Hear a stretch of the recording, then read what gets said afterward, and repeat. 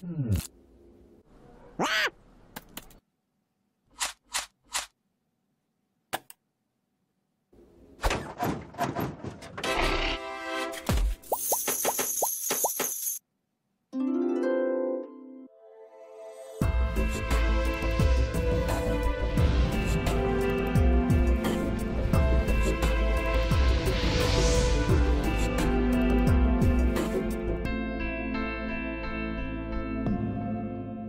Всем привет, с вами Штейн, и сегодня на столе разборов у нас пик воспевательницы дракона.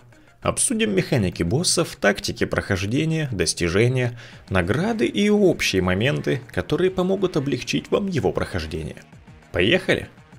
Итак, пик воспевательницы дракона, или призывательница чешуи, если ближе старое название, это групповое подземелье на 4 человека, добавляемое DLC драконьи кости, и обладающее рядом интересных и сложных механик – превращающих даже знакомство с первыми боссами в целое приключение. Если не знать механики, разумеется. Основная награда за достижение тут – это оболочка некроманта темной сущности, очень похожая на раскраску псиджиков, но без свечения, что, впрочем, не мешает их объединить и получить своеобразный микс. Дают оболочку за прохождение классического трио достижений – Нужно пройти ветеранскую версию подземелья с хардмодом, пройти ветеранку за 30 минут и разок осилить ее же без смертей группы. Делать их можно в любом порядке и не обязательно вместе. По сравнению со старыми патчами данж стал немного проще, но все еще требует большой сыгранности и строгого соблюдения механик, особенно на хардмоде. Еще просто за вход в это подземелье или логово клыка дарят головной убор маску драконьей жрицы отступника, а за прохождение их обоих в ветеранском режиме краску переливчатый пурпурный цвет. Ну и конечно же тут можно добыть пару титулов. За ветеранку Очиститель Пика, а за хардмод Чума Периайта. В самом пике Воспевательницы Дракона, как и везде, фармятся три сета, Монстр Шапка и странички одноименного мотива – Легкий сет отсюда, мантия Йорвульда, увеличивает продолжительность накладываемых вами щитов, а также малых и великих эффектов на 40%, что может очень пригодиться в некоторых ситуациях. Средний сет чумного метателя при получении урона призывает труп смердячего злокрыса, спамящего ядовитыми шарами. Тяжелый серьезно усиливает тяжелые атаки против сагренных или обездвиженных врагов, ну а местный монстр Седжа Заан создает огненный луч, бьющий цель и удваивающий свой урон каждую секунду. Длится всего 6 секунд, прерывается, если отойти от цели больше, чем на 8 метров, но по-прежнему является одним из лучших вариантов увеличить урон по соло цели, чем и пользуются многие мана ДД. Ну и как всегда приятный бонус за прохождение ветеранки и гарантированный при хардмоде странички стиля воспевательницы дракона – Распространенные куски стоят по 10-15 тысяч, но встречаются и намного более дорогие. С лутом на этом все, переходим к движу. В реалиях 2021 года ветеранскую версию можно пройти и классическим составом из танка, хиллера и 2 ДД, и вариантом в 3 дамагера без хила. Три хороших ДД смогут заливать боссов и пропускать многие механики, ускоряя прохождение. Хил же может сильно упростить жизнь на последнем боссе – Выбирайте состав из своих предпочтений и возможностей. Гайд снят на примере группы с тремя ДД. Итак, начинается данж вопреки ожиданию не совсем с обычной мелочевки, а сразу со знакомства с первой механикой, которая будет преследовать вас на протяжении всего прохождения. В одной из первых же пачек трэша вам встретятся злокрысы, которые после своей смерти будут создавать большие ауе-зоны и стрелять ядовитыми шарами во всех, кто в них попадет. Безопасно преодолеть их можно перекатом или просто дождавшись пока пропадут. Тут же вместе с мелкими мобами встретятся два вида огров. Их, как и во всех данжах, уничтожать стоит первыми. Старейшина, если этого не сделать быстро, порадует группу большой ледяной бурей с таким же немаленьким уроном, а громилы наносят много урона любыми своими атаками и любят ваншотить ДД. Топаем по коридорам, несколько раз напинываем огром и натыкаемся на двух таких же, но покрупнее. Ренеруса Смердящего и Орзуна Зловонного, кои являются местным первым боссом. И эти два вонючих огра, ни разу не мелочась, знакомят нас с целой программой летальных и не очень механик. Из основного их нельзя держать рядом друг с другом, это увеличивает урон их чумных аур и серьезно уменьшает шансы группы на выживание. Но при этом же убить их желательно одновременно. Сделав это неравномерно, группа лишится защитных механик и погибнет, но об этом чуть позже. Итак, танк забирает Огра побольше и танцует с ним по краю арены. При этом очень желательно еще и агрить маленького Огра дальним таунтом. Он не двигается, но больно лупит по ДД. Большой будет плеваться ядовитыми кругами и больно бить хэви-атакой. Если не уверены в своем блоке, лучше избегать ее перекатом. Через некоторое время маленький Огр создаст большую ледяную бурю в центре арены и четыре маленькие с шипами. Они желтого цвета и перемещаются по арене. Вслед за этим Большой Огр выберет одного из членов группы и начнет кастовать убийственный топ ногой. Выбранный персонаж начнет светиться белым цветом, а над головой у него будет что-то вроде ледяного ветерка. Этому игроку нужно срочно добежать до желтой ауешки с шипами и замерзнуть, зайдя в нее. От топнувшего огра по земле поползет небольшая ауешка и разобьет лед, выпуская персонажа. Если же ее коснется не замерзший персонаж, он умрет. И поэтому, особенно если у группы мало урона, местоположение желтых кругов стоит внимательно отслеживать. Танк старается держаться возле ближайшего, насколько позволяет арена, а ДД стараются эту самую ближайшую к танку зону не брать, предпочитая варианты подальше. И по в разгаре боя танк, пробежавший через всю группу к желтому кругу, скорее всего эту же группу и положит. Либо тупо не добежит, или соединит боссов, что приведет к тому же результату. Во время второй групповой механики маленький Огр создаст на арене две большие колонны, а над своей головой ледяной стреляющий шар. Как можно логично предположить, от него нужно спрятаться за колонны и стоять там до тех пор, пока они не пропадут. Также периодически мелкий будет выбирать игрока и стрелять по нему большой конусной атакой, зону которой стоит покинуть. Ну и бонусом мелкий иногда будет стучать по земле, призывая на помощь толпу уже знакомых злокрысов, оставляющих ядовитые зоны после смерти. Этот процесс очень желательно прерывать башем, а иначе есть шанс перекрасить всю арену в не очень приятный зеленый цвет. Итого равномерно дамажим боссов, можно вместе, а можно по очереди, кому как удобнее, добиваем одновременно и топаем дальше. Через пару коридоров группа выйдет на большой каменный балкон с кучей летающей мелочи и горгульями у стен. Можно собрать всю живность в кучу и залить вместе, но горгульи довольно жирные, сильно бьют и вешают кровоток. Поэтому в большинстве ситуаций разумнее тянуть их по одной. После смерти всей живности появится второй босс, большая горгулья, да и лемиш железное сердце. Сам босс хоть и вешает кровоток, бьет вполне терпимо. Основной проблемой же являются его помощники каменные сферы, стоящие на ограде балкона. Сразу же после начала боя одна из сфер начнет прожаривать арену, хаотично гуляя по ней лазерным лучом. Персонаж, попавший в его зону, моментально окаменеет, а босс постарается убить его своим заимствованным на Супермена зрением. В этот момент босса надо прервать, а персонажа освободить, подбежав к нему и прожав синергию. Каждые 20% здоровья босса будет добавляться еще один лазерный луч, а также одна из сфер будет спрыгивать на арену и ползать за игроками, пытаясь замедлить и также превратить в камень. Сферу нужно быстро залить, а только потом переключаться на босса. Итого получается довольно динамичный бой. Под его конец уворачиваться нужно будет сразу от четырех лучей и одной ползучей сферы. Однако, если привыкнуть и не торопиться, грамотно передвигаться, проходится это дело вполне адекватно. Добиваем горгулью и топаем дальше. В следующих коридорах встретятся великаны, медленно бьющие по земле, и оскверненные леймениды. И именно они должны быть приоритетной целью, ибо если леймениду быстро не убить, она скастует на всю группу очень больно бьющий фонтан, зачастую ваншотящий ДД. Сливаем их, а только потом переходим на великанов. Третий босс Матриарх Великанов, в отличие от Вихревой арены, может по праву носить звание местной груши для битья. Бьет терпимо, а все атаки отлично блокируются. Танк терпит, а ДД отбегают от АОЕ и стараются не попадать под дубину. Конусы все-таки делают бобо. Единственная механика тут это призыв тех самых лейменит, которых нужно оперативно уничтожать.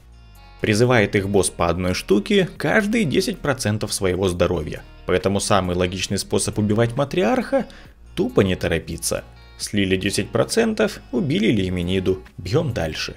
Очень просто, если не тормозить и не давать лиминидам доживать до фонтанов. Еще как вариант, если у вашей группы очень хорошо с уроном, можно скинуться ультами и попытаться залить босса, игнорируя вообще все. Больно, но вполне реально. Хотя 10 лейминит одновременно – это весело. Однако, если у вас есть такой урон, маловероятно, что вам понадобится это видео. И, кстати, если собираете ачивки, после боя с матриархом можно подойти к трупу лейминиды в углу арены и забрать квестовый образец заразы. Добыв после следующего босса еще один, в конце данжа можно будет применить их и получить достижение. Ну а мы двигаемся к следующему боссу. По дороге нас познакомят с одной из его механик зелеными решетками в полу. Во время боя одна из них будет фонтанировать, нанося большой урон группе. Этот процесс должен прервать своей тушкой танк, просто встав сверху. Итак, на создателе чумы Мартье нас будет ждать большая арена с такими же решетками – сам босс бьет не больно и имеет всего пару атак. Уже привычный классический конусный веер стрел и большую огненную ауешку, бьющую крестом. И от того и от другого довольно просто увернуться. Мешать же будут те самые решетки, за которыми нужно внимательно следить. Периодически на одной из них будет появляться зона, а следом тот самый фонтан, который также оперативно нужно заткнуть танком но и бонусом нужно будет помогать дружественному NPC Йорвульду создать противоядие. Для этого на арене будут появляться три моба – бес, жук и цветок-душитель. А Йорвульд крикнет, из кого ему нужен ингредиент. После того, как ДД убьют этого моба, Йорвульд создаст на арене светящуюся зону с противоядием, в которую нужно зайти всей группой. Также стоит сбивать боссу каст выстрела в Йорвульда. Если у ДД все с ДПС хорошо, то эту механику можно практически игнорировать. Заливаем всех трех мобов и заходим в зону противоядия. Если же с уроном все плохо, лучше внимательно следить за сообщениями Йорвульда и фокусить только нужного моба. В общем же, если не забывать затыкать фонтаны, босс проходится довольно легко. После его смерти на столе можно забрать второй образец заразы, с помощью которого после прохождения подземелья можно будет излечить того самого Йорвульда и получить дополнительное достижение. Забираем и топаем к последнему и всеми любимому боссу Заан. И тут группу ждет целая пачка механик и особенностей. Начнем с простой ветеранки и лещей, достающихся танку. Помимо обычных атак, Заан имеет две усиленные – Обычная тяжелая атака с небольшим кругом под танком спокойно блокируется. А вот такая же с кругом побольше, обычно идущая следом, уже нет. Убивать обычно не убивает, но стабильно опрокидывает, так что зону лучше покинуть. Выходим из нее перекатом, либо, если не успели, быстро поднимаемся на ноги и возвращаемся в блок. Третья приятность от босса – огненное дыхание с бегущими по земле всполохами. Применяет ее Заан случайного игрока, нарисовав ему под ногами мишень. И от всполохов надо уворачиваться. Танк в блоке пережить, конечно, может, но и ему будет очень больно. Лучше немного потанцевать. Ну и бонусом периодически босс будет кастовать большой разрастающийся круг, после чего поднимет одного игрока в воздух и начнет планомерно прожаривать огненным лучом. Чтобы спасти сопартийца, этот луч нужно прервать, забежав в него. Лучше всего это делать танку, но могут помочь и другие члены группы. И это, конечно же, был только разогрев. Теперь же поговорим о самих механиках. Каждые 20% своего здоровья Заан будет замирать и призывать две свои морозные копии. Их нужно будет быстро слить, а потом сразу же побежать к щиту босса, который Заан кинет в рандомное место арены. Там пережидаем АУЕ на всю арену, после чего продолжаем бить босса. Главное не сидеть в щите слишком долго, ибо когда Заан будет его забирать, сделает больно всем, кто внутри. Далее продолжаем бой до следующего повтора через 20%. И стараемся выжить на самой противной местной механике. После ледяных копий и щита Заан активирует статую драконов на краю балкона, и они начнут по очереди поливать арену все убивающим ядовитым дыханием. Порядок будет случайный, а вот границы опасных зон всегда одинаковы – левая часть арены, правая часть или центр. Один из драконов начинает светиться и практически сразу после этого бахает АОЕ. И, пожалуй, это самая опасная механика для непривыкших игроков. Заблокировать или увернуться от нее нельзя. Из-за скорости срабатывания попытка перекатиться из нее обычно оборачивается провалом. Поэтому лучший выход тут это располагаться примерно на границе зон и быстро выходить из красной части при срабатывании. Мне удобнее всего это делать недалеко от колонны, которая своей левой частью как раз находится на линии границы и позволяет легко и быстро ориентироваться в бою. Также неплохим вариантом может быть перемещение ближе к драконам, где можно будет реагировать на их свечение. В общем же, танку лучше всего держать босса на одной из границ, убегая от нее только для выполнения механики с копиями и щитом или защиты сопартийца от луча Заан. И при таком раскладе, если не торопиться и выполнять механики, ветеранка дается довольно просто. После некоторого количества попыток, разумеется. Самое же веселье начинается на хардмоде. Окунемся же немного в эту вакханалию. Помимо увеличенного здоровья и всего того, что радует группу на ветеранке, на хардмоде Заан обзаведется несколькими неприятными особенностями, которые мы уже видели в этом подземелье. Во-первых, в углу арены появится постамент с шаром, который будет водить по ней уже знакомым лазерным лучом, превращающим игроков в камень. Как и на боссе Гаргулья, окаменевшего игрока можно освободить синергией. Во-вторых, у босса появятся два помощника – ледяной Атронах и оскверненная Лейменида. Танку желательно сагрить всех, а ДД быстро залить мобов. Сначала по традиции стоит убить Леймениду, а следом Атронаха, раскидывающего неприятные АОЕ, и только потом переходить к боссу. После смерти мобов на земле останутся зоны, ядовитый фонтан и уже знакомый желтый круг с шипами, нужные на следующей механике босса. На 80%, как и на обычной ветеранке, босс призовет копии, которые нужно залить и бросит щит. Только теперь копий будет 3, а группа будет получать ощутимый урон. Пригодится отхил или щиты. После убийства копий же группе нужно не всей толпой лететь к щиту, а разделиться и спасаться самостоятельно. Каждый должен побежать к своей АОЕ-зоне и попасть в нее. Один член группы должен повиснуть в фонтане, один замерзнуть в шипах, один окаменеть в ненавистном луче шара, и один, обычно это танк, добежать до щита и прожать синергию. Если все успели, большая ауешка всех освободит, и бой можно будет продолжать дальше. Если же кто-то не успел, или ауешку с мобов забрали раньше этой механики, игроки без защиты умрут. Также игроки умрут, если танк не успеет прожать синергию щита. Поэтому договариваться, кто в какую зону побежит, лучше заранее. После механики будет продолжаться дальше по обычному, до следующих 20%. Мобы воскресают, лазер гуляет по арене, дракончики дышат ядом. И так 4 раза. В общем же все сводится к тому, что нужно привыкнуть. Привыкнуть стоять там, где надо, привыкнуть узнавать местные гадости и вовремя от них уворачиваться, и, конечно же, привыкнуть узнавать те гадости, в которые нужно бежать на механике с копиями. И через некоторое время это у вас однозначно получится. А если получится выжить один круг, выживете и все четыре. Благо специфической стадии добивания тут нет. Хватает веселья и без нее. Этот хардмод по праву считается одним из самых сложных. И от этого еще больший кайф его осилить и получить свои награды. Ну а на этом у меня, пожалуй, и все. Пишите в комментариях о своем опыте танцев Зан и нюансах, которые я упустил. Тактики, навыки, шмотки. Тут, как и в логове Клыка, пригодится все. И, конечно же, пишите, чью обитель хотите увидеть в следующем гайде. Ну а затыкал задом канализацию и умирал в перекатах. Для вас, как всегда, Штейн. Огромное спасибо, что смотрели это видео. Пробуйте сложный контент, добывайте ништяки и, конечно же, не болейте, не скучайте. До новых встреч!